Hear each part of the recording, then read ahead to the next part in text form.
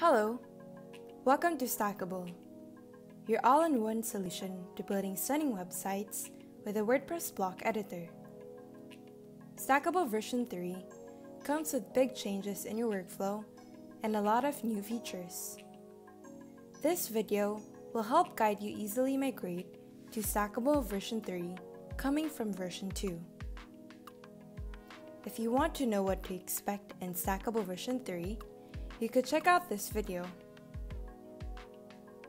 Editor Workflow The first thing you should note are the blocks. Version 3 of Stackable will replace all stackable blocks with an updated set of new blocks, which are faster, more flexible, and more powerful. This is how stackable blocks look like in version 2. And this is how the new V3 blocks look like.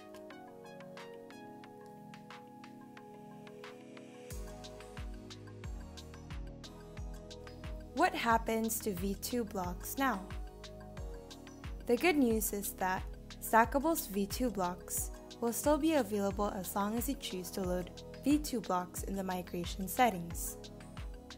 Additionally, all your pages that contain V2 blocks will remain the way they were and you will still have the ability to edit them. We will keep supporting the old blocks in the foreseeable future to make sure that they perform well in the front end. Updating from version 2 to version 3. After updating your plugin, you will automatically be redirected to the Stackable v3 onboarding wizard. From there, you will be asked how you would like to transition your workflow when editing your pages. You will be prompted to choose among the three migration options which will allow you to transition your workflow smoothly to the new system. Use old V2 blocks, but only when editing existing posts. If you choose this option, then Stackable will only add the version 2 blocks if you are currently editing any posts or pages that consists of version 2 blocks.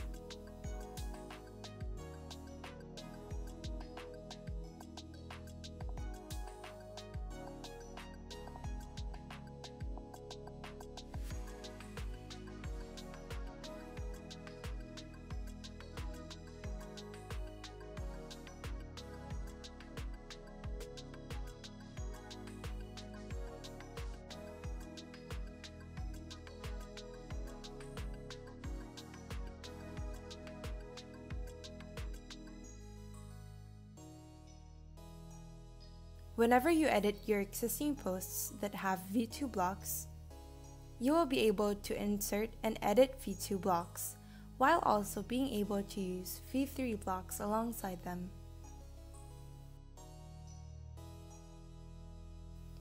Note that if you create new posts or pages, you will then only be able to insert the new V3 blocks. So when should you use this option? Select this if you have existing posts and pages which use V2 blocks that you want to leave as is. And if you're using reusable blocks with V2 blocks that you still plan on using. Use both new V3 and old V2 blocks. If you choose this option, then both version 2 and version 3 stackable blocks will be added to your editor. It will not matter if you don't have any posts or pages that uses any version 2 blocks. So when should you use this option? Select this if you want to keep using both V2 and V3 blocks across your entire site, even for new posts and pages.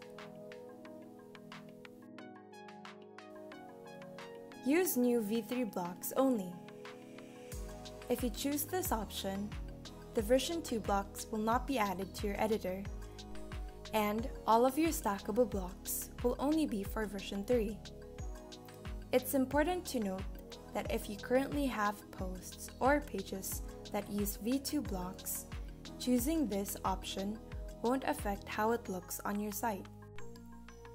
But it will show as a block error on the back end and you won't be able to edit them. This is the perfect option to use if you want to only use the new V3 blocks moving forward, have no intentions to edit your old pages, or to rebuild them. It's good to note that version 3 is fully backward compatible with version 2, and you won't need to rebuild any of your web pages.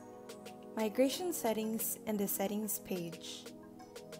In any case that you need to change these settings again in the future, you can access the migration settings by scrolling to the bottommost part of the settings tab in the stackable settings page.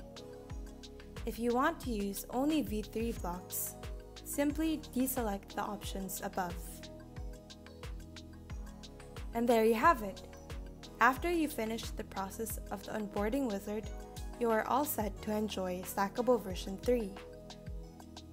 If you like this video, don't forget to give it a thumbs up and subscribe to our channel. If you need more information regarding Stackable, feel free to join our Facebook community or visit our website